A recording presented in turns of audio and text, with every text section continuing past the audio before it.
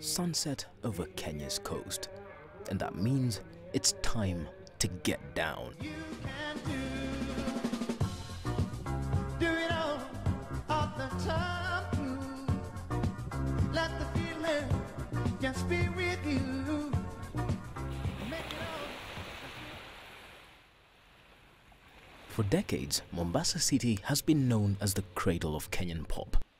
And it all dates back to the mid 19th century by the arrival of the first Anglican missionaries. This right here was the first church to be built in East and Central Africa back in 1846.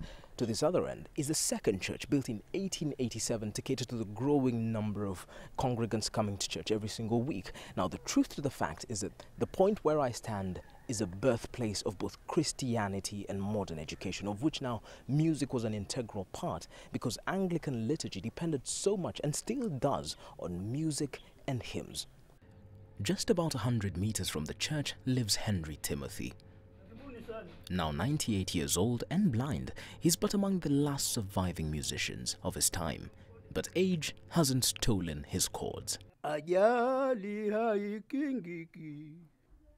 Ajali haikingiki, asai nipo Mola mwenyewe. Muziki mimi nilianza kama 1920, 1930. Mimi hata niliwacha kusoma kwa sababu ya hiyo muziki. Hata skuli ilikuwa siendelei kwa sababu ya kujifunza muziki.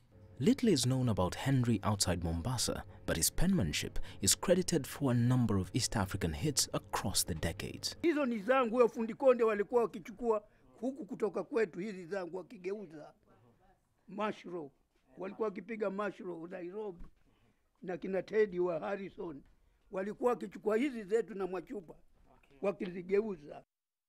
The end of World War II was instrumental in teaching the many Africans that had left to fight alongside the British troops in India and Indochina. When they came back, they brought with them a rich fusion of sounds.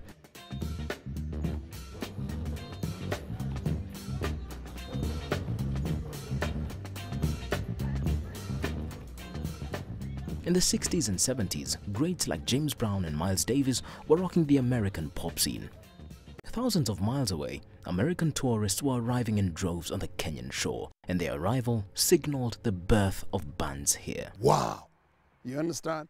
That was it. When they hear, ah, yeah, you know, like, eh, then, then it's like, we can do it. And that is how, you know, uh, Slim Ali later on came to do, you can do it. Your love keeps taking me higher, higher, higher, higher. That was fresh. That was new.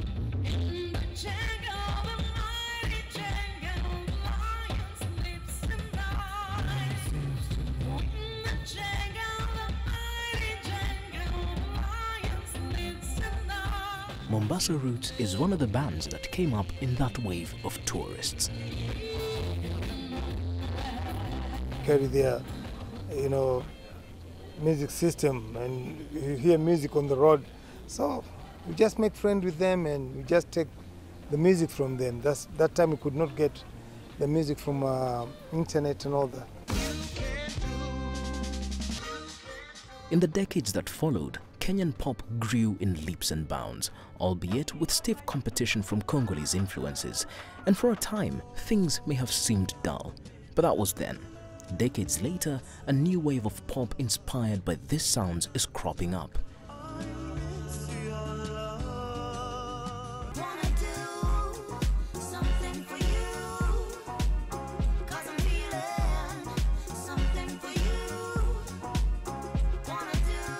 And it's not just in the hip hop, but corporate culture is also taking the cue.